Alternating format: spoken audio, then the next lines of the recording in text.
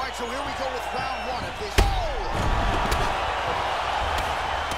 Oh, look at him jumping in to try to get And that's going to do. Bro.